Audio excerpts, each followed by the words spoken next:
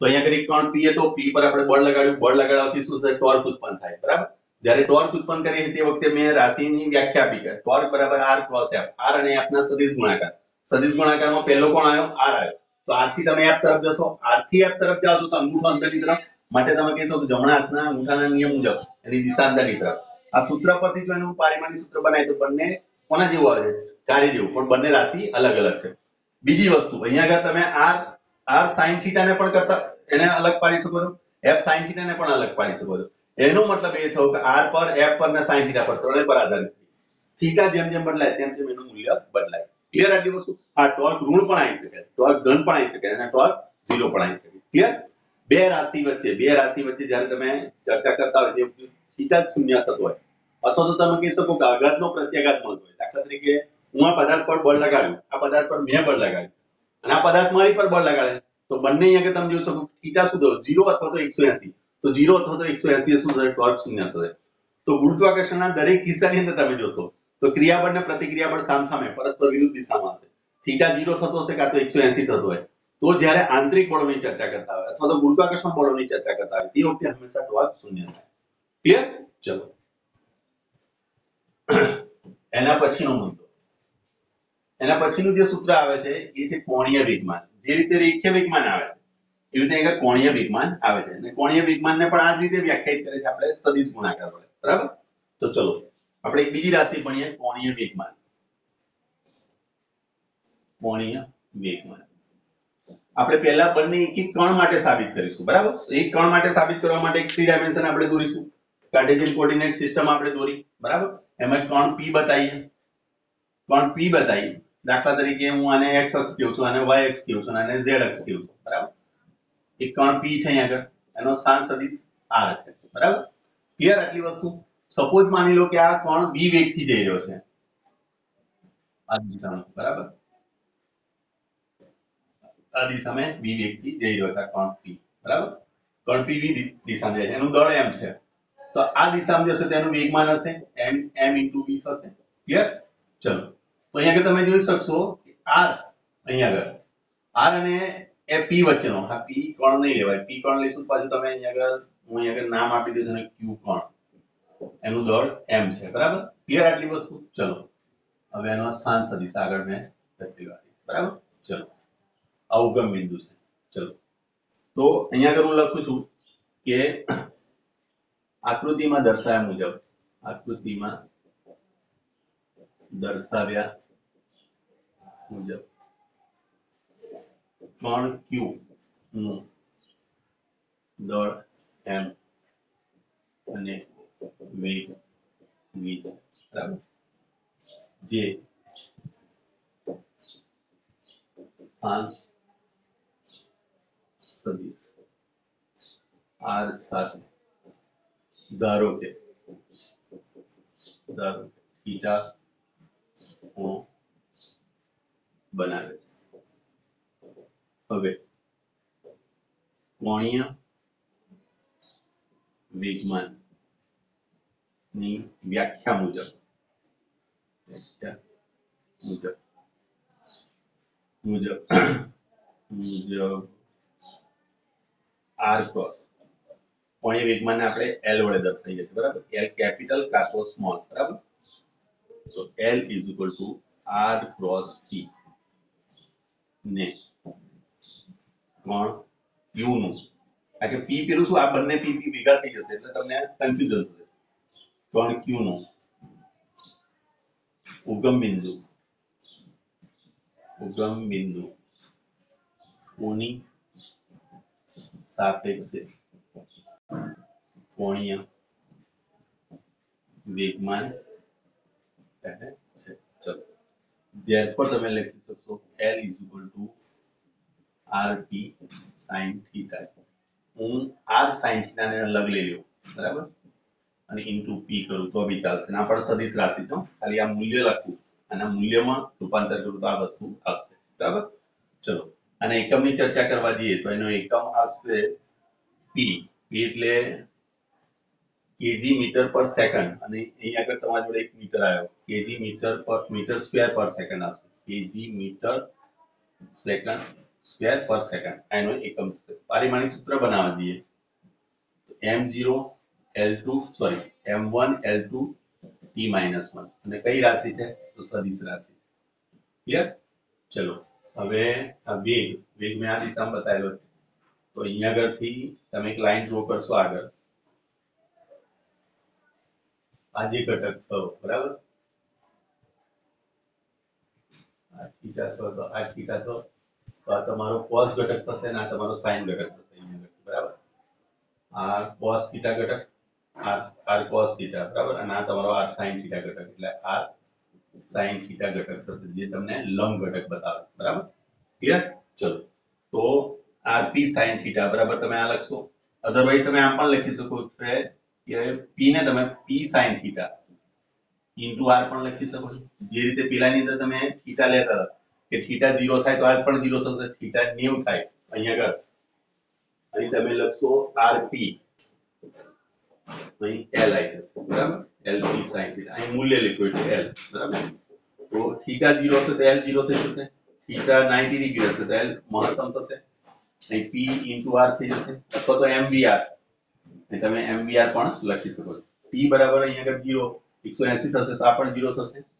અને p અહીંયા આગળ નેગેટિવ થશે અને અહીંયા આગળ આવશે માઇનસ બરાબર? આગળ જતા તમે આનો ઘણો બધો ઉપયોગ કરવાનો છે. તો કોઈ વાત તમને પૂછે કોણીય વેગમાન એટલે શું? તો કોઈ એક કોણ લઈ લો. કણનો વેગ v છે. V અને r વચ્ચેનો એંગલ તમને થીટા આપેલો તો r ક્રોસ p જે છે, એને આપણે કોણનું ઉગમ બિંદુની સાપેક્ષે કોણીય વેગમાન કહેવાય. એના પરથી આ સૂત્ર બને ક્લિયર હવે એની ડાયરેક્શન જોવા જશો તો પણ આ શું થશે r cross p, r cross p p એટલે વેગની દિશામાં છે તો અહીંયા તમે જોશો એ પણ અંદરની તરફ જે પૃષ્ઠની અંદરની તરફ છે તો p ની દિશા અથવા તો l ની દિશા l ની દિશા પૃષ્ઠની અંદરની તરફ છે. આ પણ એક સદિશ રાશિ બોલો આમાં કોઈ કન્ફ્યુઝન હોય તો મને કહો કોણીય વેગમાન બીજી રાશિ હતી તમારી કોણિયા વેગમાન છે કોઈ કન્ફ્યુઝન આમાં? બોલો. હેલો.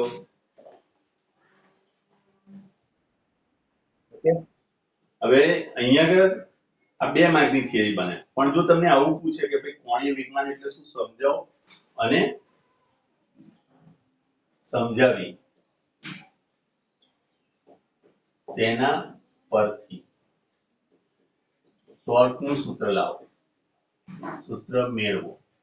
તો આ થિયરી તમારી ચાર માર્કની થાય. બરાબર? આ ચાર માર્કની થિયરી લખવા માટે પહેલા પેલું પાછું કોર્ડિનેટ કાર્ટેશિયન કોર્ડિનેટ સિસ્ટમ દોરો. પછી આગળ તમારે એમ બતાવો બી બતાવો. બરાબર? દોડ એમ બતાવેલું છે આપણે. દોડ એમ છે બી છે. તો એમ ઇન્ટુ બી એટલે વેગમાન થશે. વેગમાન અને આર વચ્ચેનો ક્રોસ પ્રોડક્ટ તમે કરશો એ તમારો થશે શું? તો કોણીય વેગમાન થશે. ઉગમ બિંદુની સાપેક્ષે. બરાબર? આ રીતે એનું સૂત્ર હશો પારિમાણિક સૂત્ર, એકમ બધું લખાય. એલની દિશા તમે બતાવશો. પછી આ નથી લખવાનું. તમે આગળ નાનું લખ્યું. હવે જો થીટા તમારો. ઝીરો હોય ત્યારે શું થશે? 90 હશે ત્યારે શું થશે? 180 ત્યારે શું થશે? 270 માટે જેમ થીટાની વેલ્યુ બદલાય, એમ એની વેલ્યુ પણ બદલાવાની છે. અહીં એ જ રીતે તમે કહેશો કે જે રીતે અંતર વધશે, બરાબર? અંતરમાં ફેરફાર કરશો, તે રીતે એના મૂલ્યમાં પણ ફેરફાર થશે. અને આર sin θ એ તમારો લંબ ઘટક બતાવે છે, બરાબર? એટલે કાર્યરેખાથી લંબ અંતર આ છે એની કાર્યરેખા, બરાબર? આ લંબ અંતર એક્ઝેક્ટ આમ દોરવા જોઈએ તેનું લંબ અંતર આ રીતે આવશે. આ બંને લંબ થવા જોઈએ, બરાબર. આ રીતે લંબ થવું જોઈએ. આ અંતર તમારું જે થાય, આ 90 ડિગ્રી થઈ ગયું, બરાબર? ક્લિયર તો 90 માઇનસ થીટા તો આ તમારો થીટા થાય. તો આ તમારો cos ઘટક, આ તમારો sin ઘટક થશે. ક્લિયર ચલો, એ રીતે આપણે જઈએ. ઓકે સમજ પડી છે ને? તો હવે તમને એવું પૂછે છે કે આના પછી ટોર્ક લાવો. તો ટોર્ક લાવવા માટે આકૃતિ અહીંયા જ રાખવાની તમારે. અને આમાં આકૃતિ આપેલી નથી બુકમાં તમને અહીંયા દોરો તોય ચાલશે. ખાલી તમે રજૂઆત કરી દો કે ભાઈ આ રીતે છે, તો બી ચાલશે. બરાબર? ચલો. અહીંયા આગળ. મારે લાવવું છે ટોર્કનું સૂત્ર. તો હવે એલ બરાબર. આપણે જાણીએ છીએ. એલનું સૂત્ર આપણે ઓલરેડી હમણાં સાબિત કરી દીધું છે. એલ બરાબર. આર ક્રોસ પી બરાબર? અને ઇક્વેશન નંબર વન આપો. બરાબર? હવે પછીની થિયરી બરાબર? આ ટોર્કનું સૂત્ર તારવવા માટે. તો હવે તમે લખો ઇક્વેશન 1 નું. T ની સાપેક્ષે વિકલન કરતા. બરોબર, એક મિનિટ મેં થીટા કયો બદલાવ્યો છે. cos theta. Okay. cos theta થશે. આ આ theta થાય તો આ cos theta અને આ sin theta હમ મેં theta ખોટો બતાવ્યો એનો. આ ધ્યાન રાખજો. આ થીટા આ થશે. બરાબર? આ આર કોસ થીટા થશે અને આ સાઈન થીટા એક મિનિટ હો. માં કેમ નથી? જવાબ આવતો વ્યવસ્થિત. આ સ્થાન સદિશ લીધું. આપણે એક્સ અક્ષ અથવા એક્સ લીધું. બરાબર? ત્રણ p છે આપણી જોડે. કોણ ક્યુ બરાબર? અહીંયા આગળ માની લો કે આ દિશામાં એનો વેગ v છે. વેગ v અને એ દિશામાં એનું વેગમાન t થયું બરાબર? તો અહીંયા આગળ લંબ અંતર આ લંબ બરાબર? પાયનો લંબ ઘટક થશે. બરાબર? આ થીટા તો આ થીટા તો આ cos થીટા ઘટક થશે અને આ sin થીટા ઘટક બરાબર? આ sin થીટા એટલે આ તમારું લંબ અંતર થશે. આ sin થીટા બરાબર? તો આ બંને વચ્ચેનો લંબ અંતર. થશે એટલે આ sin થીટા એ રીતે જશે. ઓકે ચલો. ઇક્વેશન એક નું ટી ની સાપેક્ષે વિકલન. આ વિકલન લઈએ આપણે. તો શું થશે? જુઓ. dl upon dt is equal to d by dt r cross p. બરાબર? ચલો. r cross p લખીશું. એટલે અહીં આગળ. આ જે પહેલું વિકલન આનું કરો, તો આને અચળ ગણો, કાં તો આનું વિકલન કરો, તો આને અચળ ગણો. બરાબર તો પહેલા હું આરનું વિકલન લઉં છું. Dr upon dt cross p આપણે અચળ રાખ્યો. જ્યાં પી એટલે શું છે? કોણી રેખીય વિમાન પ્લસ અહીંયા આગળ તમે આરને અચળ રાખો ક્રોસ કરો છો. ડીપી અપોન ડીટી કરો છો. બરાબર? હવે dr અપોન ડીટી એટલે શું થયું? r નું સ્થાનાંતરનું સમયની સાપેક્ષે વિકલન શું બતાવે?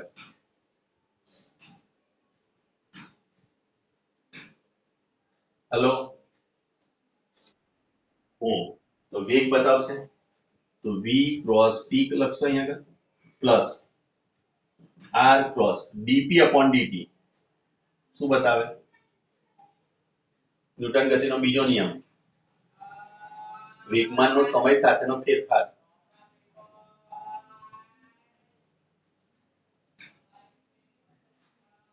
હલો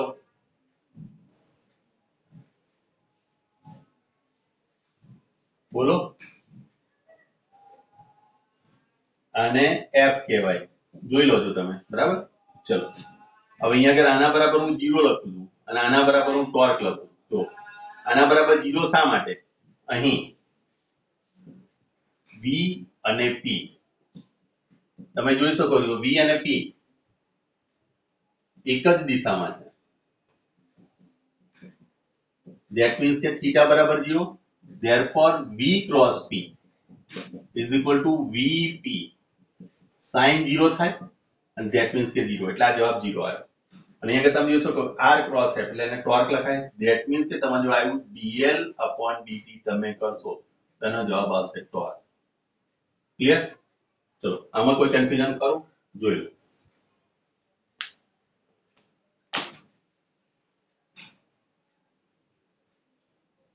છે કોઈ કન્ફ્યુઝન આમાં?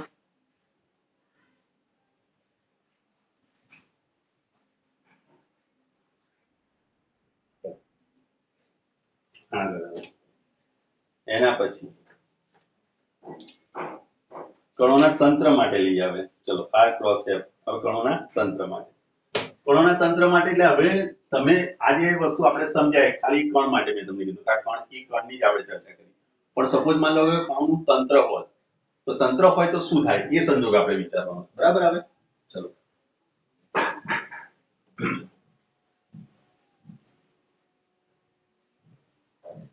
હવે જુઓ, સમજી લો જો કોણીય સ્થાન સોરી રેખીય સ્થાન, કોણીય સ્થાન.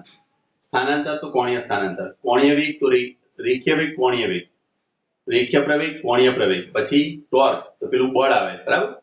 રેખીય બળ તો ટોર્ક અહીંયા આગળ આવશે. એના પછી શું ભણે આપણે? રેખીય વેગમાન, ત્યાં આગળ આવે કોણીય વેગમાન, બરાબર? જે રીતે રેખીય વેગમાન સંરક્ષણનો નિયમ છે, એ રીતે કોણીય વેગમાન સંરક્ષણનો નિયમ છે.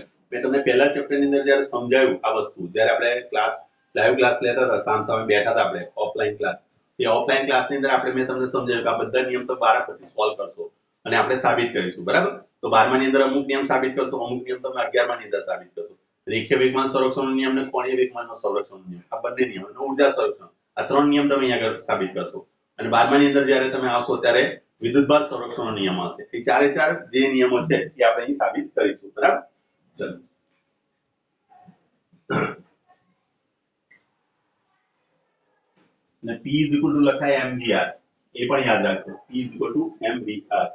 હવે સપોઝ માની લો કે કોઈ દ્રઢ પદાર્થ. હવે કણોના તંત્ર માટે. કણોના તંત્ર માટે. કોણીય વેગમાન. L આપણે સાબિત કરવું છે. બરાબર? ચલો. ધારો કે એક દ્રઢ પદાર્થ ના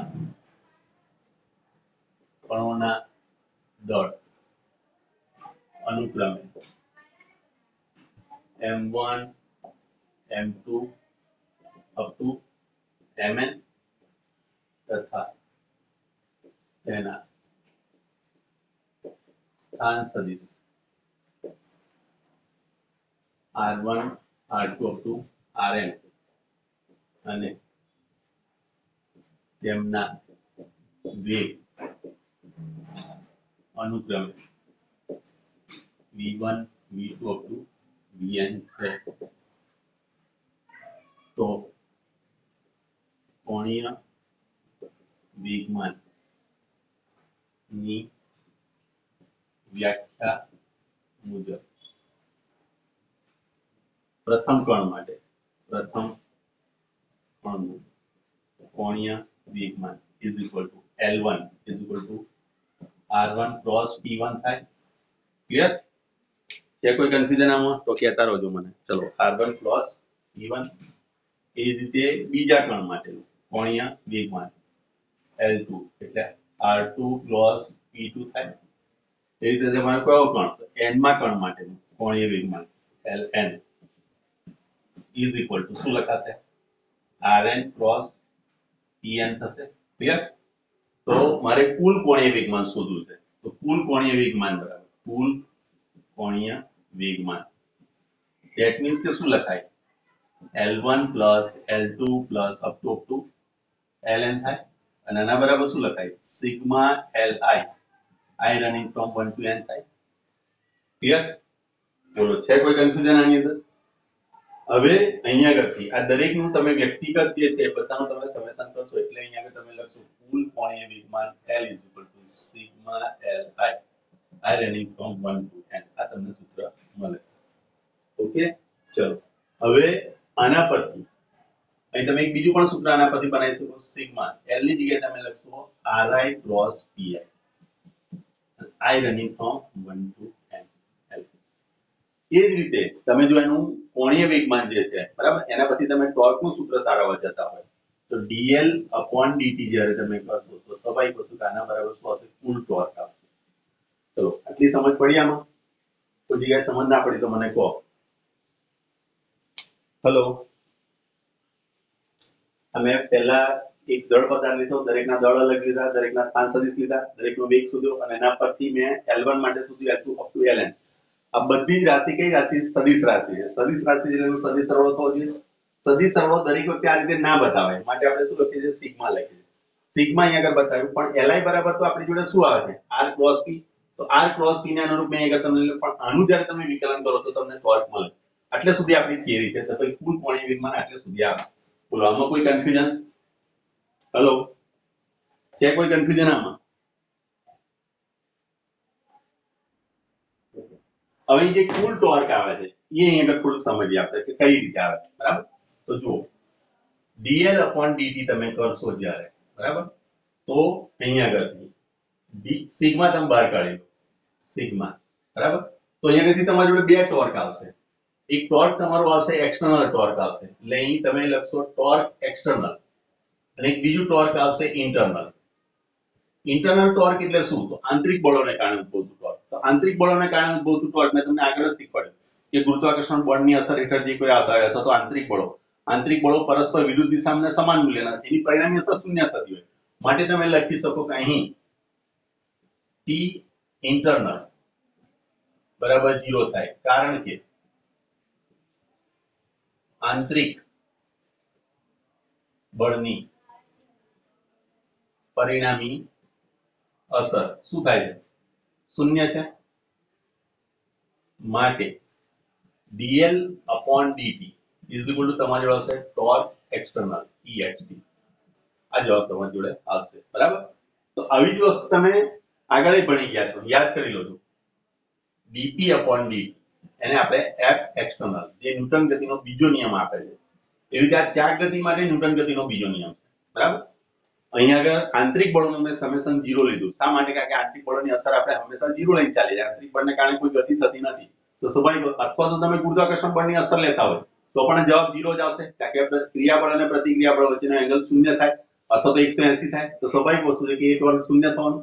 માટે તમારો ટોર્ક કેવું રહેશે? એફ એક્સટર્નલ એટલું રહેશે. એટલે ટોર્ક એક્સટર્નલ એટલું રહે એક્સટર્નલ એટલું રહેશે. એટલે સ્વાભાવિક વસ્તુ છે કે અહીંયા તમે કહી શકો કે DT is equal torque external પેલું ટોર્ક ઇન્ટરનલ તમારું ઝીરો થાય.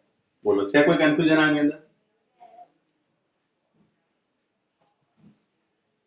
જે રીતે આપણે ન્યૂટન ગતિના નિયમની અંદર આપણે લખતા હતા ને. જો ન્યૂટન ગતિના નિયમની અંદર એની પેરેગ્રાફમાં તમને આપેલું છે કણોના કોઈ તંત્ર પર કુલ કોણીય વેગમાં સમય સાથેના ફેરફારનો દર આ બિંદુ પર તંત્ર પર લાગતા બાહ્ય ટોર્કના સરળ બરોબર થાય છે. એટલે કે અહીંયા આગળથી તમારું ટોર્ક થશે એ બાહ્ય ટોર્કને કારણે હશે, બાહ્ય બળને કારણે હશે. જ્યારે આંતરિક બળોને કારણે શૂન્ય થશે. બોલો, આમાં કોઈ સમજૂતીમાં તમને ના થઈ હોય તો મને કહો ફરી સમજાવું. છે કોઈ કન્ફ્યુઝન આમાં?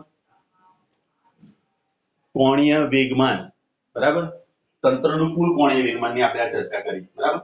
અહીંયા આગળથી તમારી એક્સટર્નલ અને ઇન્ટરનલ બંને આવશે. પણ એક્સટર્નલ તમે ધ્યાનમાં આવશે ઇન્ટરનલ કદી ધ્યાનમાં લેવાય નહીં. આ ધ્યાન રાખજો પાછું. બરાબર? બે પાછા ટોર્ક ના આવે. ધ્યાન રાખજો. હલો હવે સપોઝ માન લો કે તમે કોઈ બાહ્ય બળ આપ્યું જ નથી. માની લો બાહ્ય ટોર્ક જ નથી. તો અહીંયા કે તમારો જવાબ આવે dl upon dt. જો f એક્સટર્નલ ને પણ હું 0 લઈ લઉં, તો એ 0 થાય. અને કોઈ પણ રાશિનું જો વિકલન ઝીરો થતું હોય, બરાબર? તો રાશિ શું કહેવાય? અચળ. તો આવી પરિસ્થિતિ આવે ત્યારે એલ બરાબર અચળ થાય. અને એલ બરાબર અચળ હોય તો આપણે કહી શકાય કે કોણીય વિમાન નિયમનું સંરક્ષણનું પાલન થાય. કઈ રીતે? જ્યારે બાહ્ય ટોર્ક શૂન્ય હોય. તમે ચાર નિયમને તમને સમજાય ને ત્યારે મેં ત્યાં એક શબ્દ વાપર્યો જ્યારે બાહ્ય ટોર્ક ઝીરો હોય, બાહ્ય ટોર્ક એટલે એફ ટોર્ક એક્સટર્નલ બાહ્ય ટોર્ક જ્યારે ઝીરો થશે, ત્યારે કોણીય વિમાન તે તંત્રનું કોણીય વિમાન હંમેશા અચળ રહે. એને કોણીય વિમાન સંરક્ષણ નિયમ કહેવાય. એ જ રીતે પેલા લખતા આપણે જ્યારે બાહ્ય બળ શૂન્ય હોય, બાહ્ય બળ શૂન્ય, આંતરિક બળ તો શૂન્ય લઈએ છે બાહ્ય બળ જ્યારે શૂન્ય હોય એફ ઇન્ટરનલ જીરો હોય. એફ ઇન્ટરનલ તો જીરો હોય હંમેશા. અને એફ એક્સટર્નલ જો તમે જીરો લેતા હોય, તો અહીંયા કે તમે લખી શકો dp upon dt dp upon dt બરાબર? એફ એક્સટર્નલ પણ એને જીરો લઈ લો તો શું થશે? પી અચળ થશે.